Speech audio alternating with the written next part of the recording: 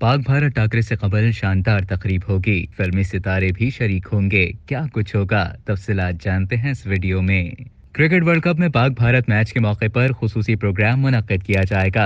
भारतीय मीडिया के मुताबिक अहमदाबाद में पाकिस्तान और भारत के दरमियान मैच से कबल होने वाले इस प्रोग्राम में भारतीय सुपरस्टार शरीक होंगे। मीडिया रिपोर्ट्स में बताया जा रहा है कि इस खसूसी प्रोग्राम में बॉलीवुड के सीनियर अदाकार अमिताभ बच्चन और रजनीकांत समेत कई फिल्मी सितारे शरीक होंगे।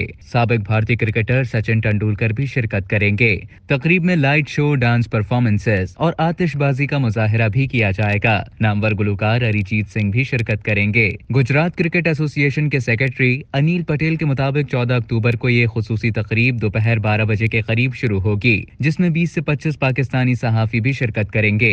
इस हवाले से अनिल पटेल का कहना था कि पाकिस्तानी सहाफियों के लिए तमाम तर इंतज़ाम मुकम्मल कर लिए गए हैं। भारतीय मीडिया के मुताबिक पीसीबी के कुछ ऑफिशियल्स भी पाक भारत मैच देखने भारत आएँगे। रिपोर्ट्स में बताया गया कि भारतीय क्रिकेट बोर्ड ने वर्ल्ड कप की इफ्ताही तकरीब न होने की वजह से पाक भारत मैच के मौके पर शायकीन के लिए खसूसी तकरीब के इनका का फैसला किया है। वाज रहे कि वर्ल्ड कप की इफ्ताही तकरीब न होने पर शायकीन क्रिकेट ने मायूसी का इजहार किया था। याद रहे कि पाकिस्तान और भारत के दरमियान मैच चौदह अक्टूबर को नरेंद्र मोदी क्रिकेट स्टेडियम में शेड्यूल है। अब तक के लिए इतना ही। मजीद खबरों और न्यूज़ अपडेट्स के लिए डेली जंग के यूट्यूब चैनल को सब्सक्राइब करें और फेसबुक के पेज को लाइक करना ना भूलें।